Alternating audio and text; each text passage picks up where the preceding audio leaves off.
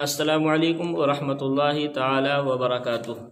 الصلاۃ والسلام علیک یا رسول اللہ صلی اللہ تعالی علیہ وسلم۔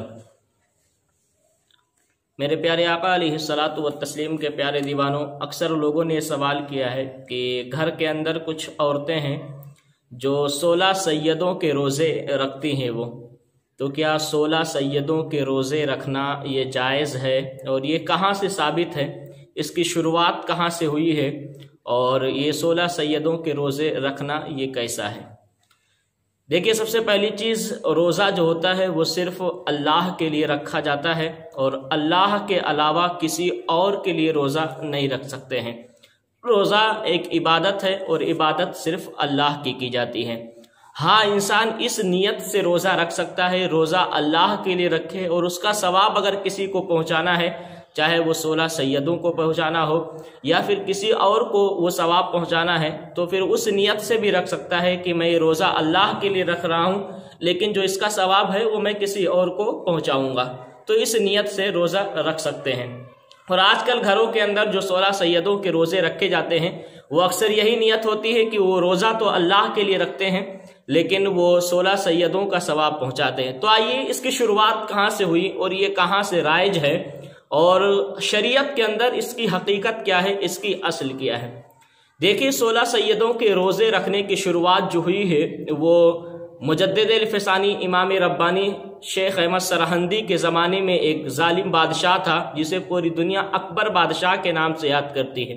اکبر بادشاہ ایک ظالم بادشاہ تھا، جس نے اپنے دین الہی کے ذریعے اسلام کو بدلنے کی اور اسلام کی صورت کو غلط طریقے سے لوگوں کے سامنے پیش کرنے کی اس نے کوشش کی تھی۔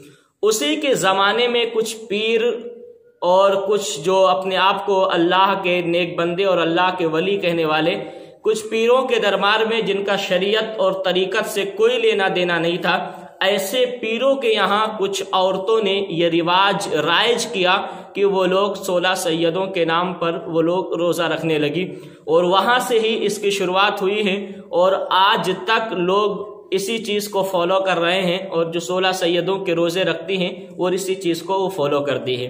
دیکھیے، اس چیز کا شریعت میں کوئی اصل نہیں ہے اور اس کی کوئی حقیقت نہیں ہے اور جو چیز کسی ایسی جگہ سے رائج ہو جس کا جس کو شریعت منع کرتی ہو کہ ایک ظالم بادشاہ نے اور اس کے زمانے میں بے اصل چیز یہ شروع جب کی گئی ہے، تو بعد علماء کرام نے فرمایا ہے کہ اس طریقے کے روزے سے لوگوں کو اجتناب کرنا چاہیے، بچنا چاہیے۔